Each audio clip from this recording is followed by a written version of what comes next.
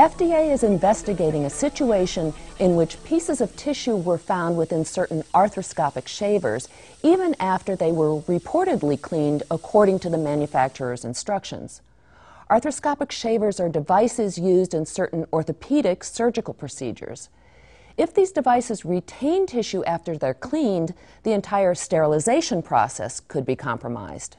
Multiple manufacturers of these devices have notified their customers about this situation and reiterated the importance of following proper cleaning procedures. FDA is continuing to work with the manufacturers to evaluate the situation and determine its potential public health impact. We'll provide an update when more information is available. In the meantime, facilities that use arthroscopic shavers should evaluate the adequacy of their cleaning procedures and should ensure that the personnel who clean and sterilize these devices follow all the steps in the manufacturer's cleaning instructions prior to sterilization. They should also consider inspecting the inside of these devices after cleaning to ensure that they've been cleared of any tissue or fluids.